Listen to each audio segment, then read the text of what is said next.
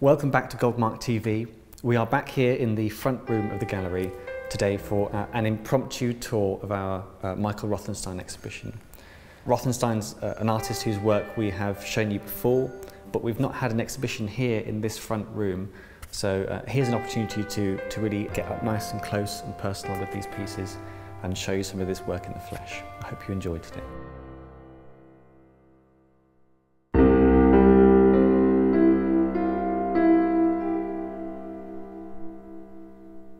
We recently took down our uh, Rigby Graham exhibition from this gallery front room space. It was a really successful show.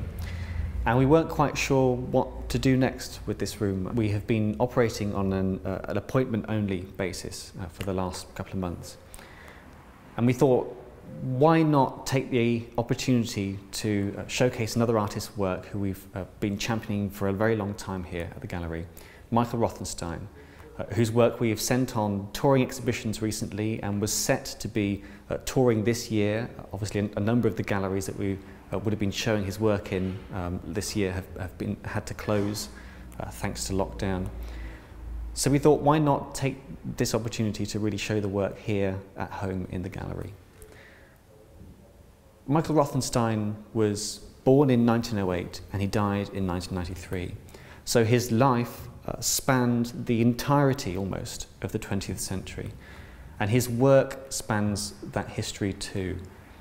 There is a, a whole breadth of political, uh, of, of, social, of aesthetic and artistic uh, variety and wealth going on in this exhibition. A huge range of very, very different prints that showcase how Rothenstein was an artist who really exploded the boundaries of what printmaking meant. He was working largely in the latter half of the 20th century, at a time when print uh, was sort of uh, uh, innovating in, in Britain, when artists were returning to print not just as a means of reproducing their work, but as a primary mode of expression, as a means of revelation. Some of the works in this show are going to uh, reveal some of the, the core themes, the central subjects of Rothenstein's work. And we'll also see just what a technical virtuoso he was in working with different kinds of printmaking.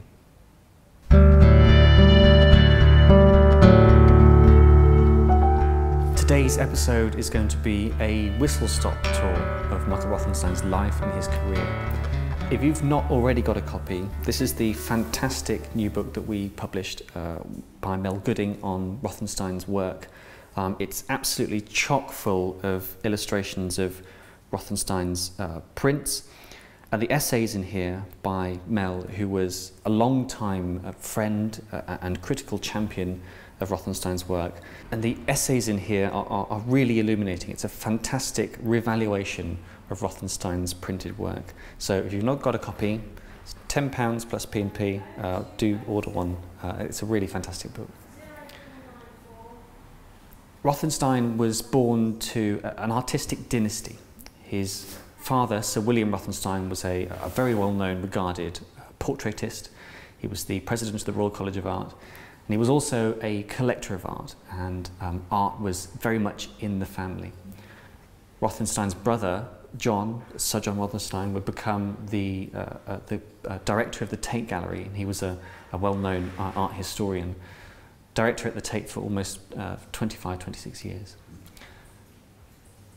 Rothenstein spent his childhood uh, with his family uh, in Gloucestershire, in the Cotswolds. It was a childhood spent in a kind of um, idyllic countryside scene on a farm. And very quickly, as a young boy, it was the sights and the sounds of the farmyard, the sights of the, the cockerels fighting, of butterflies in the fields, uh, the, the churning of the earth uh, by uh, tractors and ploughs. This world of colour and violence uh, and atmosphere um, really impacted on him as a child. He made a number of drawings as a young boy uh, of, of um, uh, scenes inspired by that world.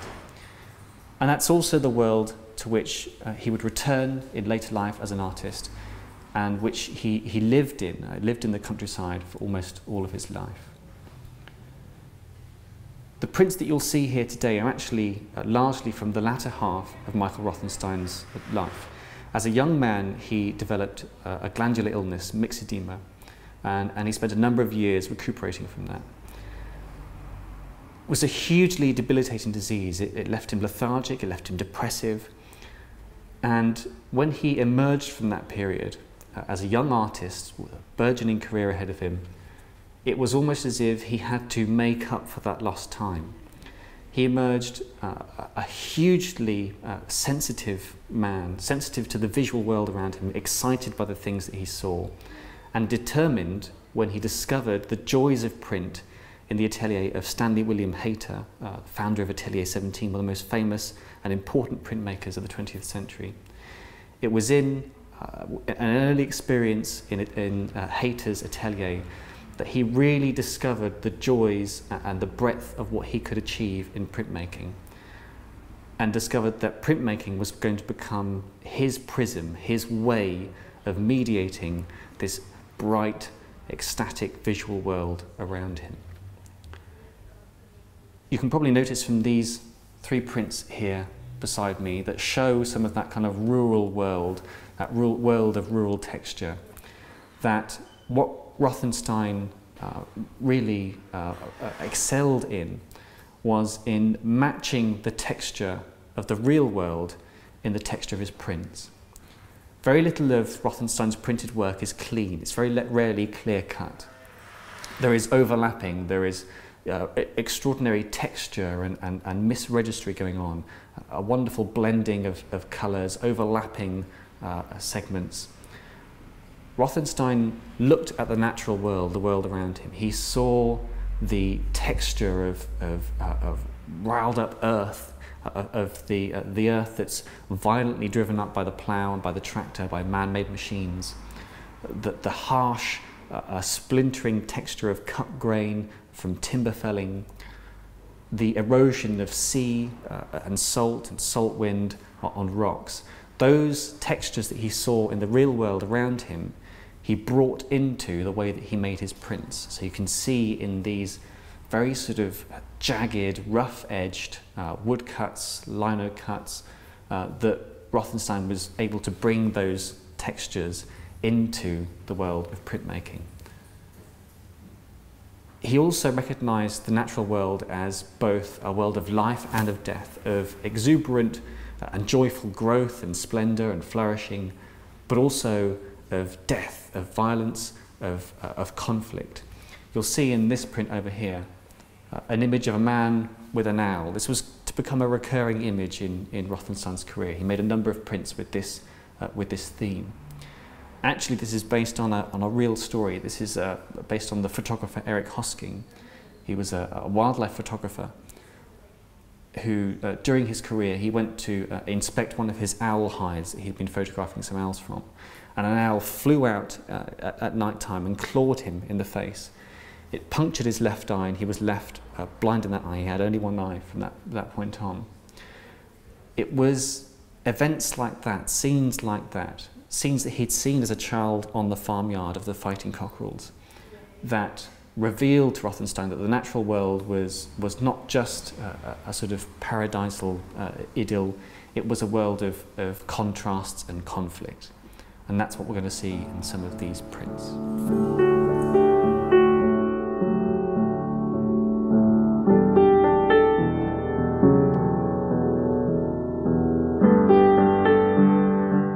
After his introduction to printmaking through Stanley William Hayter in the 1950s, the, the first time that he'd really been shown uh, the breadth of what printmaking could achieve, it was in the 1960s that Rothenstein uh, developed a, a, sense of uh, the abstract uh, in his art. As you can see from a couple of these etchings, he already had a very profound understanding of um, the universality of certain symbols, the way that uh, humankind throughout the ages had taken symbols, emblems and ciphers and found meaning in those icons. You can see some of the influences of, of uh, African wooden carving in some of these etchings here, that sense of, uh, of figures and icons uh, holding some kind of magical meaning, some kind of magical significance. from the 1960s onwards, he really first started to develop a, an abstract vocabulary, an abstract language that, that drew on those universal symbols. Uh, one that incorporated things like moons and suns, stars, uh, kites, certain recurring patterns that he found in the cultures that he studied. These he explored in a number of different mediums, in, in woodcut and lino cut, uh, but also in screen printing. And he started to bring those different methods together. This was a, a period that, that came to a, a, if not a close, to a sort of a conclusion in the 1960s, the late 1960s, with this fantastic circle series. A number of different prints that use this recurring symbol of the circle uh, and other elements drawn from, uh, from machinery, from industry, from manufacturing, uh, from the urban as well as the natural world in making these bright coloured abstract prints. Rothenstein also discovered that as an experimental printmaker, as a printmaker who enjoyed uh, changing things on a whim during the actual print run, during the, um, the discovery of what was working on the plate, um, he was a capricious artist. He liked to make changes uh, whenever he wanted to, even uh, once a print run, an edition was starting uh, to be produced. So you'll see a number of different uh, colorways sometimes in some of his prints this made it a real challenge, a, a, a, difficulty and a frustration for those trying to, to catalogue Michael Rothenstein's prints, to try and organise them, to work out the, the full edition runs, the, the number of prints that were made, the colourways that were made, uh, as you would normally do with an artist. But it also makes it a real joy as gallerists and for collectors as well, because almost every Rothenstein print has some kind of uniqueness about it. You're never quite sure whether the edition was finished, whether what you have in front of you is representative of what he started making at the start of the print run, or whether it was a, a, a capricious turn, a, a, point of whimsy, a decision made on the spur of the moment.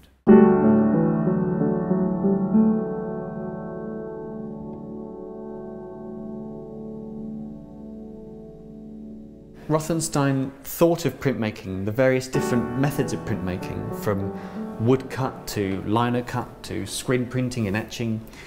He thought of them almost as instruments. And rather than be a soloist working in one of those mediums, he thought of bringing those instruments together uh, in a kind of orchestra. An orchestra that could uh, make images uh, in which the different voices of these different types of printmaking would either come together in harmony or in discord. He also realised that rather than simply making prints from ordinary plates, an etching from a zinc etching plate, uh, a woodcut from a woodblock, he realised that rather than representing the textures of the natural world in these plates, he could actually bring the natural world into the world of print.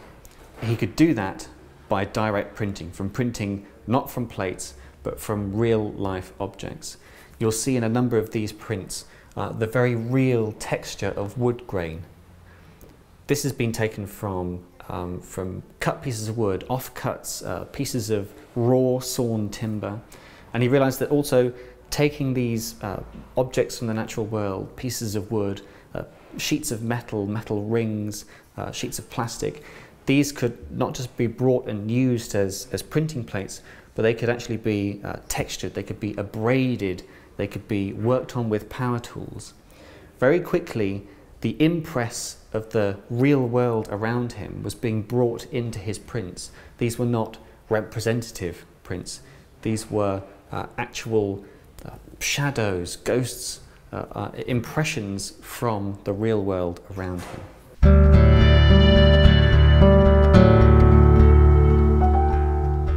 Like many of his fellow artists of the 1960s and 70s, people like Eduardo Paolozzi, Rothenstein shared a, an obsession, a, a, a profound fascination with the culture of his time. He was living at a time of incredible visual saturation, a time of cinema, of the television, uh, of uh, photojournalism, of fashion and sports magazines. And with the innovations in the world of screen printing and photolithography, of bringing those, uh, those photo-visual worlds into the realm of printmaking, Rothenstein leapt at the opportunity of bridging these different worlds, these different worlds of media, the different textures, the different tones, and also the varying uh, tensions, the, the political tensions, the sexual overtones, the worlds of sexual violence, of news, of glamour, of, of sordid affairs, uh, the events of the world, uh, both on a, on a grand and, and international scale, but also on the smaller, intimate, personal level. You can see in a number of these prints how that idea of collage, of bringing uh, different objects together that he had uh, been working on earlier, uh, of bringing the different uh, textures of the natural world translated itself very, uh, very neatly to this world of montage, this world of bringing together the different visual identities, the different visual clues of the photojournalistic world. One of the things that Rothenstein perceived quite lucidly was the sense that in this world of great visual saturation, when people are being bombarded with news, bombarded with, uh, with affairs, with gossip, with tabloid, the realization that the private sphere, the, the personal sphere, and that of the public was starting to blur. The line dividing those two worlds was starting to, to blur. That's an idea that has real resonance for us today, particularly with uh, the growth of social media, with the President of America making decrees uh, not from the White House but on his Twitter account. That kind of, uh, of blurring, of, uh, of, bringing those worlds together, of looking at where they merge, uh, the television screen that is that medium between the world outside and the person in his sitting room. That's played out in a number of these prints that bring those different visual media together. Some of the prints that do that most successfully are those that bring together all the different aspects of Rothenstein's printmaking, of direct printing from objects from wood, from the, the textures, the grains of wood, and the photographic uh, elements that bring together the sense of symbols, of, uh, uh, of symbology, of emblems, bringing all these different worlds together to create prints that are uh, both literal and representative and figurative uh, and expressive. Works like these, uh, this is the classic RIP, RIP. You can see there's a, something happening with that title there, a kind of double meaning going on there. We get both the violence of, of man-made machinery on the natural world, the violence of the natural world in this grain, in the texture of this wood here, the violence of machinery in these, this saw blade and these drill bits and clamps here. This also got to the heart of how Rothenstein uh, could, could work not just on a, on a representative level. This is not just an image of violence. The actual violence of the image, this powerful movement through this wood that's being almost sort of split apart is represented uh, not just in the image itself, but it's actually there in the texture, in the roughness, the abraded surface of this print. It's a violence not just of, of, of symbols, of representation of image, it's a violence in the material texture of the print as well. No more would we see that uh, the idea of the violence of the material and the violence of the image itself come together than in Rothenstein's powerful images of the cockerel. Certain symbols, certain subjects recur throughout Rothenstein's career, but none with quite the vigour, with quite the intensity of the cockerel. It almost became the emblem of Rothenstein's art. You can see it here on the front cover of this book, on lino cutting and wood cutting, one of a number that Rothenstein produced. The cockerel brought Rothenstein once again back to his childhood, back to those bright, impactful scenes of his, uh, his early days spent there on the, on the farmyard, um, watching the cockerels fighting with each other in the scrub and dust on the farm. A number of things from that time, from Rothenstein's early childhood, uh, start to, to blend together in his art. Uh, the memories of his father's collection of Indian miniatures, the bright colours of those of his, um, his own uh, German uh, soldier figurine collection. It's the cockerel that uh, stands out from that, uh, from that time, that keeps recurring again and again, uh, almost, I think Mel Gooding described it, compulsively in Rothenstein's art. There was something about the, the swaggering pride of the cockerel, its braggadocio, its need for sexual domination over the roost, that became uh, almost heraldic in Rothenstein's art. It became the symbol of, of violence, of, of imposition, of predation, of splendour and pride. And you can see that in these uh, really powerful prints across here. The, the strenuous uh, working in the wood, the, the beautiful bright colours set off against that wonderful jet black. You can also see that as representatives of the Rothenstein estate, uh, we now deal with, uh, with Rothenstein's work, um, these fantastic woodcut boards down here that you can see that have been used to print some of these colours. It's when you see the boards next to the prints, next to the prints that they, that they work for. Rothenstein would often have a number of different blocks used for a, a single uh, image. Uh, blocks that printed different outlines and borders like you might see on this butterfly bird at the side here. It's when you see these two things in, in, in combination, when you see the blocks next to the prints, that you get a real feel for how that vigour translates from the wood onto the print. And that's really the core of Rothenstein's printmaking, of taking that inner experience, that uh, imagination, that sense, that intuitive sense, getting it into the block and from the block into the paper. That was something that he couldn't necessarily do in any other kind of art making other than printmaking. It was printmaking that had a special way of revealing his feelings about a subject, of getting those feelings into and onto the paper in front of him.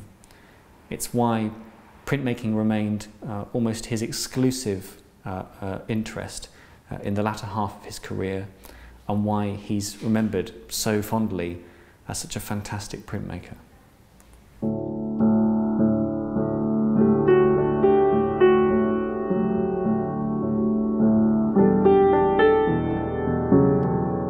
You've seen in this show is really the tip of the iceberg when it comes to Michael Rothenstein prints.